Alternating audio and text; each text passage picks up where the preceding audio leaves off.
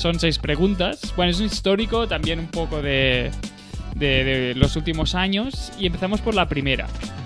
¿Cuándo salió el álbum de cromos de fútbol más antiguo de España? Te doy las opciones. Venga, va. Son cuatro opciones. A. 1903. B. 1912. C. 1915. O D. 1927. ¿Puedes repetirlos? Que me acuerde. 1903, 1912, 1915 y el 27. Es complicado. Es muy complicado. Es muy complicado. Es que te has Ha puesto sido- también unas ha sido a malas, ¿eh? te has puesto las opciones. 1927. 1915. Ah, Pero em, creo que en 1927 había una, pero que era como la segunda o no. No ibas mal encaminado. Pero era una colección que la vi por. Bueno, tampoco tengo mucha idea de cromos, pero por lo que vi en, en internet y una entrevista de La Vanguardia, eran sobre todo. explicaban jugadas. Sí. Eran. te- Eran dibujos. Dibujos y se explicaba. eh, no sí. sé, jugadores El de esa época. corner, eh, Sí. esto es un penalti, sí. ¿Eso tiene algún valor ahora o...? Seguro que sí. Pero eh, es también curioso cómo ha cambiado a lo largo de, los sobre años. todo, también. cuando es una cosa tan antigua, el estado de conservación de la misma es lo que hace Claro. tener más valor o menos. Sí. Vale, vale, vale. vale. Claro. Pero sí, sí que tiene valor. Sí, sí, sí, sí. Pasamos a la segunda, que es ¿cuál fue el mundial en el que se empezó a sacar colecciones sobre cromos de fútbol de forma oficial? ¿De qué, de qué editorial? Panini. ¿Te doy las opciones? No hace falta. Me la juego. Jógatela. Uf, yo no tengo ni idea. Me la juego. 1970. México 1970, clavado. ¡Vamos! ¡Vamos! Sin opciones. ¡Vamos! Muy bien, sí, sí, sí. Es cuando Esta Panini... me la sabía, esta me la sí. sabía. Vale, vale, vale. Muy complicados esos álbumes, tanto del, 80, del 70 de México como el 74 de Múnich o el 78 de Argentina. Y de eso habrá poco, ¿no? Pff, se mueve bastante. Hay poquito, es que no hay en Claro, el mercado. Claro, no. Y encontrar una caja sellado de eso es No, no. imposible. Yo creo que no tiene ni sello esas cajas. Hostia, claro. Fuerte. Hostia. Sí, no sí, había sí. caído ahí. No tiene ni sello esas cajas. De hecho, el papel mismo, igual algún sobre sin abrir, Ya, pero caja yo creo que imposible. Y colección en buen estado difícil. prepara dinero, amigo. Ya, Yo estoy buscando una colección desde el año 78 para un señor que es el director de fútbol, del editor de fútbol de Panini.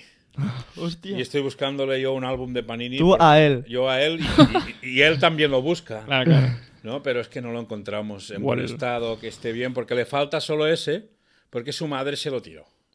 Hola.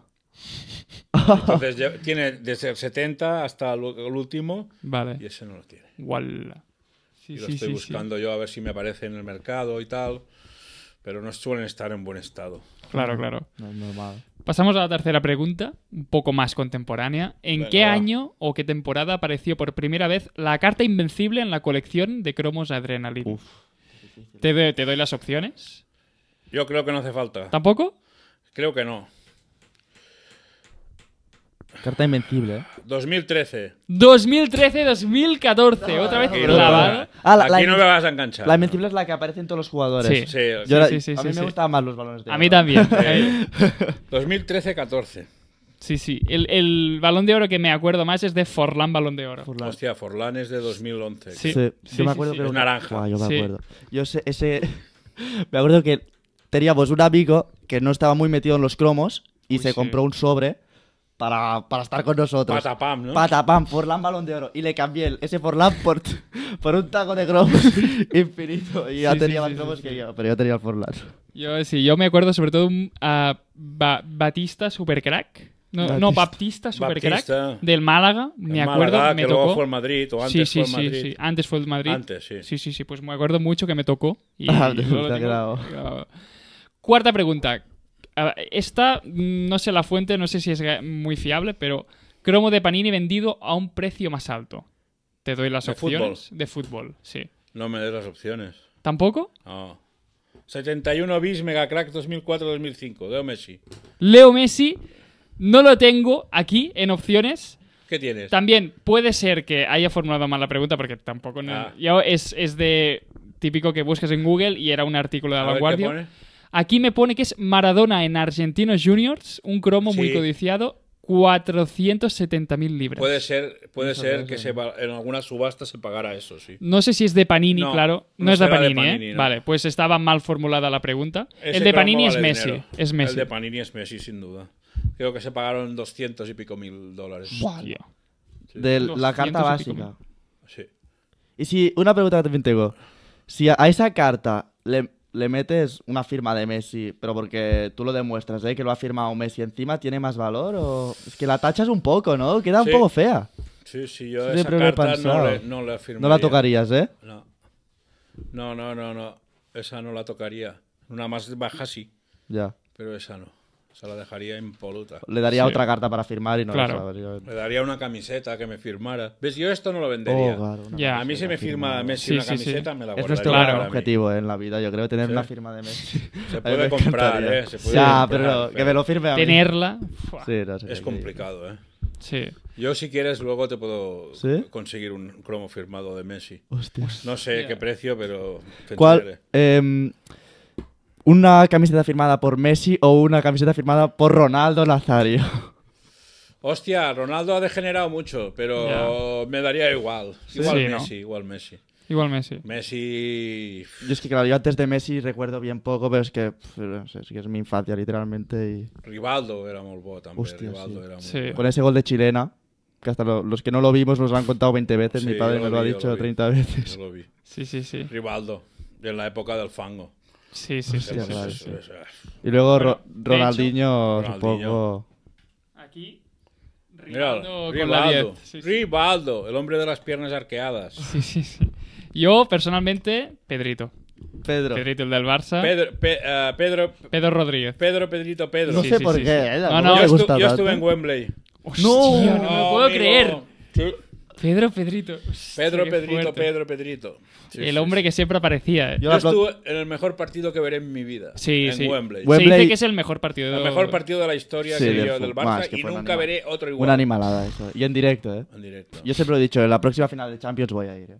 Si este Es- año es llegaba al muy- Barça... Es muy arriesgado. Yo fui y tuve mucha suerte. Sí. Porque fue Claro. un partido Hombre, increíble. mejor Sí, que sí, eso sí, es, es imposible, literalmente. O sea, no, Yo en no esa va. época fumaba tabaco y no se podía fumar. Y es- tenía un steward todo el rato diciéndome, Controlando. no fumes. Y yo decía, déjame, que fumo, que estoy muy nervioso. Claro, claro. Y cuando marcó el gol Messi, lo cogí Un golazo. y casi le arranco la- la- eso que lleva naranja. ¡Ah! Ah, Hostia. Y ya no me dijo nunca más, me dejó fumar todo el rato. Que a veces eran ingleses. Sí, sí, sí, Igual- claro, claro, claro. Sí, sí, estaba Sí, sí, sí, sí, sí. Le, le bueno, bueno, bueno. Hostia, es que eso es historia. Sí. Increíble. Y finalmente, eh, última pregunta, que ya se ha respondido creo en este, en este podcast, pero bueno, yo la digo. Fuera del fútbol, ¿de qué deporte ha sido el cromo vendido más caro? Béisbol. Béisbol, clavado también. Sí, sí. ¿El, el- el nombre y el precio? ¿Lo sabes? Hostia, el precio no lo sé, creo que un millón de dólares, un millón y algo. Más, más, más. O dos millones y algo puede ser. Aquí- Eh, eh, sé, el, sé el cromo que es y sé por qué es. A ver. A ver. Es un, es un tío con, con un sombrero pintado, dibujado. Sí. Y es porque se hizo la primera edición de Tops, no se vendió nada y acabó en un río. Algunos dicen que fue por accidente, otros fue porque lo tiraron al río. Entonces muchos se mojaron y se hicieron, se destrozaron. Hostia. Y los que quedaron están muy buscados. Y es un tío con un gorro verde. Sí, es Mickey Mantle. Creo. Mickey Mantle, y aquí se dice que se vendió por 12,6 millones de Puede euros. ser, sí. De Es una- dólares. Es una puta animal. Es una locura. Así que luego... En 2022, Michael Jordan. sí. pandemia. Claro, ¿no? yo puede ser que haya visto esto en Claro, el en 17 o el 15. 2000, claro, Claro, claro. claro. Todo no sé eso- qué cromo Sí, es. sí, sí, sí. Es Igual que que, hay un cromo que es muy curioso de básquet, que hay dos tíos en el partido y son dos hermanos que asesinaron a sus padres. Hostia, y sale ahí, ahí de Se fondo, sale ¿no? de esos que están en la grada VIP, Vale. que en la primera fila, y ese también Que está ahí de fondo. Qué fuerte. eh. Es un nombre serbio, creo, el, el- el apellido Hostia, de los... que- Vale, vale, vale, vale. los tíos. Qué es un poco fuerte. esto, ¿no? Claro, es que... Bueno. Sí, sí, sí, sí. Que se va a animar Quique.